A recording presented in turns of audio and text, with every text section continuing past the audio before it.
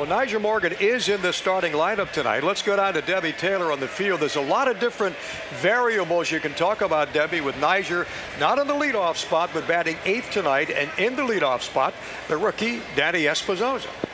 Well, that's right, Johnny. And Bob Watson met with Nyjer Morgan earlier today. Bob Watson is still here at the ballpark. He has a big decision to make in terms of Nyjer Morgan and his appeal for his suspension. And Jim Riggleman did change his lineup a little bit. Here's Jim.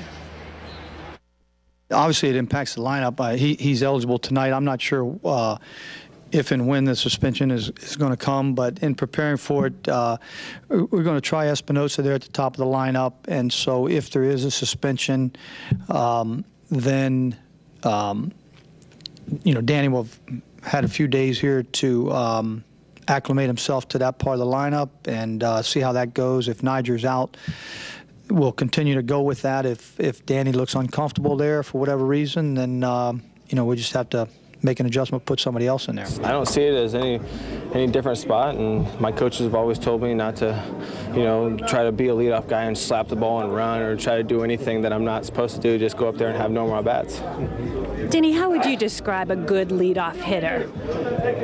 A guy that's I don't know, a guy, I guess, that goes up there, sees pitches, and does whatever he does to get on base, whether it be a walk, a hit by pitch, or, you know, just someone that can get on, maybe steal bases if he needs to, and I don't know, just, I guess, just a normal, to me, just a normal, just a normal hitter. He's a very talented guy, and um, he has done it uh, in the past in the minor leagues. He's been a, a number one and two hitter.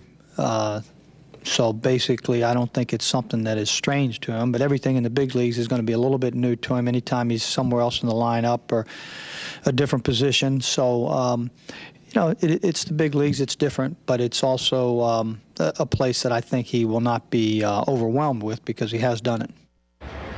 Danny did admit he was a bit surprised to see his name in that lead up spot, but he said it's a position that he enjoys, so it'll be fun to watch him out there tonight. Doug Slaten begins his suspension tonight, and uh, he said he wasn't sure where he was going to watch the game. He can't stay in the clubhouse or watch it from the bullpen, so he could be out in the stands or he could go home and watch the game. He's not allowed in the press box either. So for a little bit more on the suspensions, back to you, Johnny and Phil.